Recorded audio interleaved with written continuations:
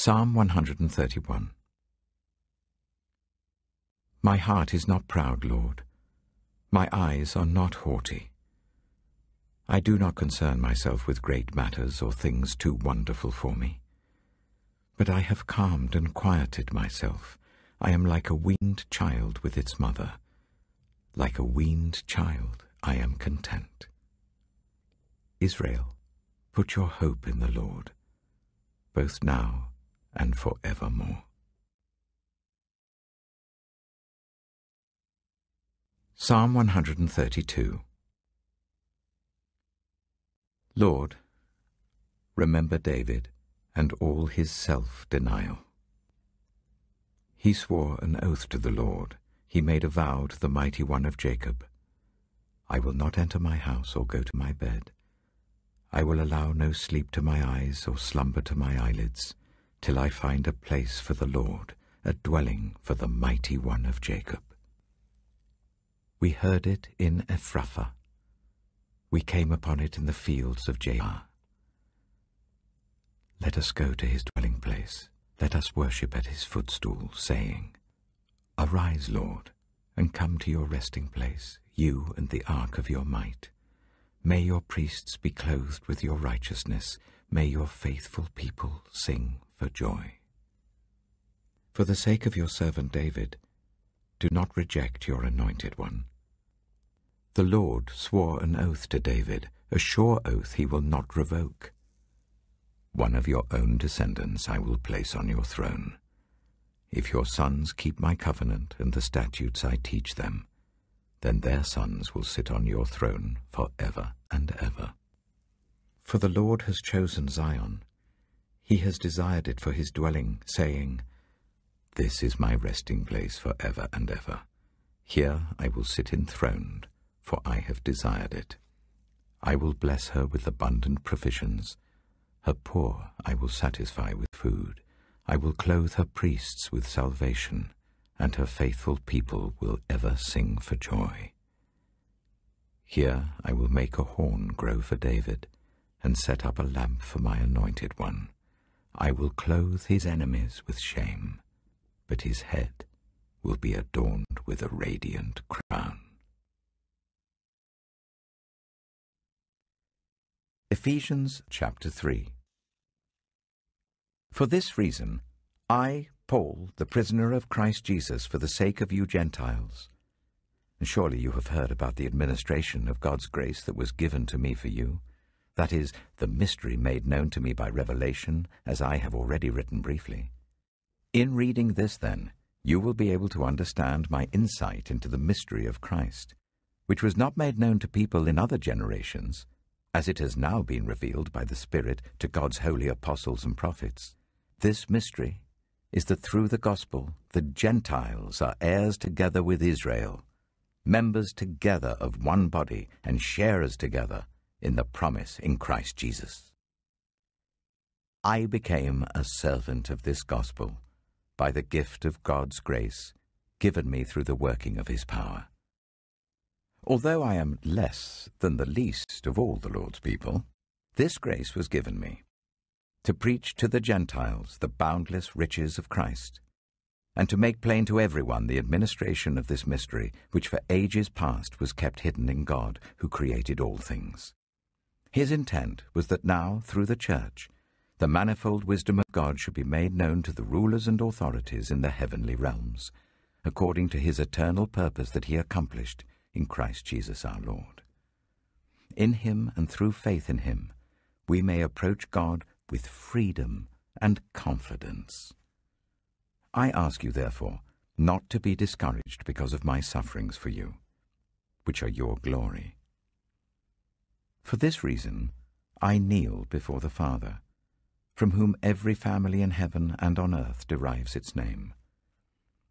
I pray that out of his glorious riches he may strengthen you with power through his Spirit in your inner being, so that Christ may dwell in your hearts through faith. And I pray that you, being rooted and established in love, may have power, together with all the Lord's holy people, to grasp how wide and long and high and deep is the love of Christ, and to know this love that surpasses knowledge, that you may be filled to the measure of all the fullness of God. Now to him who is able to do immeasurably more than all we ask or imagine, according to his power that is at work within us, to him be glory in the church and in Christ Jesus throughout all generations, for ever and ever. Amen. Proverbs chapter 23 Saying 7 When you sit to dine with a ruler, note well what is before you, and put a knife to your throat if you're given to gluttony. Do not crave his delicacies, for that food is deceptive. Saying 8 Do not wear yourself out to get rich. Do not trust your own cleverness. Cast but a glance at riches and they're gone for they will surely sprout wings and fly off to the sky like an eagle. Saying 9 Do not eat the food of a stingy host. Do not crave his delicacies. For he is the kind of person who is always thinking about the cost. Eat and drink, he says to you, but his heart is not with you. You will vomit up the little you have eaten and will have wasted your compliments. Saying 10 do not speak to fools, for they will scorn your prudent words. Saying 11 Do not move an ancient boundary stone, or encroach on the fields of the fatherless, for their defender is strong. He will take up their case against you. Saying 12 Apply your heart to instruction, and your ears to words of knowledge. Saying 13 do not withhold discipline from a child. If you punish them with the rod, they will not die. Punish them with the rod and save them from death. Saying 14 My son, if your heart is wise, then my heart will be glad indeed. My inmost being will rejoice when your lips speak what is right. Saying 15 Do not let your heart envy sinners but always be zealous for the fear of the Lord. There is surely a future hope for you, and your hope will not be cut off. Saying 16 Listen, my son, and be wise, and set your heart on the right path. Do not join those who drink too much wine or gorge themselves on meat, for drunkards and gluttons become poor, and drowsiness clothes them in rags. Saying 17 Listen to your father who gave you life, and do not despise your mother when she is old.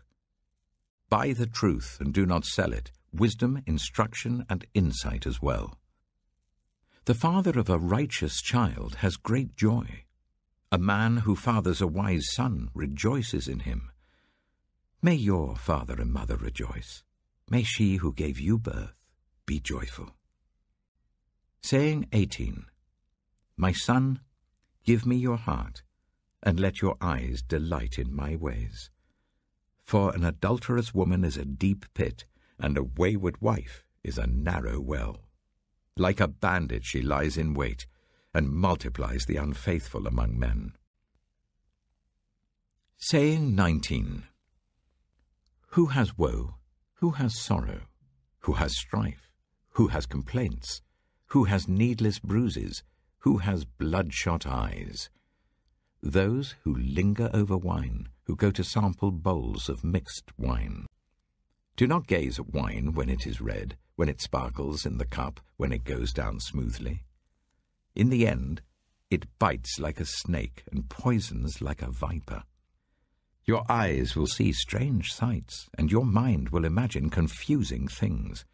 You will be like one sleeping on the high seas, lying on top of the rigging. They hit me, you will say, but I'm not hurt. They beat me, but I don't feel it. When will I wake up, so I can find another drink?